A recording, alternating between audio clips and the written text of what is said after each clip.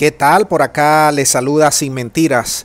Ustedes saben, amigos de Venezuela, de América Latina, quienes nos siguen siempre, están pendientes de las noticias del mundo, de Venezuela, que hoy en la Asamblea Nacional de este país se ha se realizó una sesión extraordinaria con motivo de desmontar escuche bien lo que les voy a decir, que es clave en estos pasos que está dando Venezuela para restituir su estado y su formalidad de sus valores democráticos.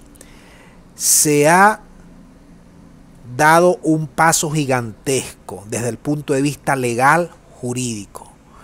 Se trata del desmontaje del aparataje jurídico que había montado el gobierno interino entre 2016 a 2021. A 2020, 2021. Donde nos robaron y nos quitaron todos los activos de la República. Donde mencionaron embajadores y acuerdos y jefas y jefas y jefes de misiones diplomáticas. Actos que hoy la Asamblea Nacional, conjuntamente con el Tribunal Supremo, ha dicho son ilegales, inconstitucionales y nulos. Vamos a escuchar a Jorge Rodríguez y no te pierdas lo que te voy a decir al respecto luego de la intervención del presidente de la Asamblea Nacional de Venezuela, doctor Jorge Rodríguez. Adelante. Política de la democracia, de la constitución de la República Bolivariana de Venezuela. En el día de ayer, mientras veía a representantes de los sectores de la derecha venezolana en una mesa sentados, no podía dejar de pensar en dónde estaban esos rostros, esas voces en años recientes, en meses recientes. ¿Quiénes estaban en Bogotá pidiendo invasión contra Venezuela? Quienes estaban en Washington pidiendo intervención, quienes estaban promoviendo campamentos de mercenarios que todavía hoy existen en Colombia, quienes estaban promoviendo atentados, situaciones de violencia. Y el día de ayer, en un gesto que todo hay que decirlo, honra el regreso, al menos en lo declarativo, al cauce democrático de estos sectores de la derecha que señalan que participarán en las elecciones, en las mega elecciones de alcaldes, gobernadores, concejales, diputadas y diputados del 21 de noviembre del 2021. Y puede decirse lo que se quiera decir, eso forma parte de la controversia, de la controversia y la diatriba política. Pero hay un hecho que es real y que es incontrovertible.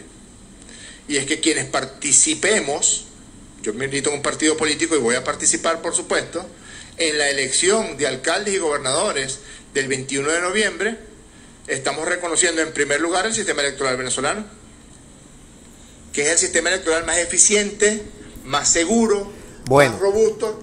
Lo tengo que decir. Escuche bien lo que les voy a decir. La Asamblea Nacional le ha quitado el parapeto, el andamiaje jurídico, por la cual se basó se basaron de manera ilegal para tumbar un gobierno legalmente constituido en Venezuela. Se basaron 60 países, el imperio y el imperio europeo, para luego colocar allí a un gobierno interino con la esperanza de derrocar un gobierno y luego ellos ser los jefes de nuestras riquezas.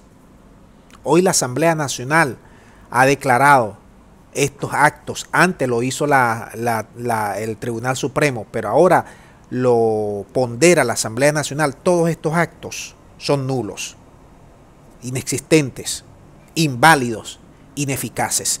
Con esto, con esto, nosotros, sentados ahora en la mesa de conversaciones de México, que se reanuda el próximo 3 de septiembre, según dice el gobierno de Venezuela, van a exigir como punto nodal el que se restituyan y se regresen todos los activos que la banda del interino de Guaidó se robó para entregárselos a los imperios.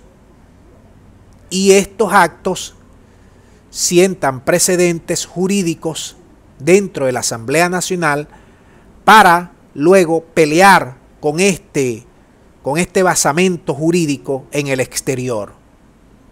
Tete a tete, cara a cara, para pelear monómeros, para pelear refinerías de PDVSA, para pelear embajadas que nos, que nos quitaron o que invadieron, para pelear Sidgo, para pelear cualquier cantidad de cuentas bloqueadas, para pelear cualquier cantidad de dinero congelado en el país del norte, porque ya oficialmente, como todos sabemos en Venezuela, el gobierno del interino dejó de existir.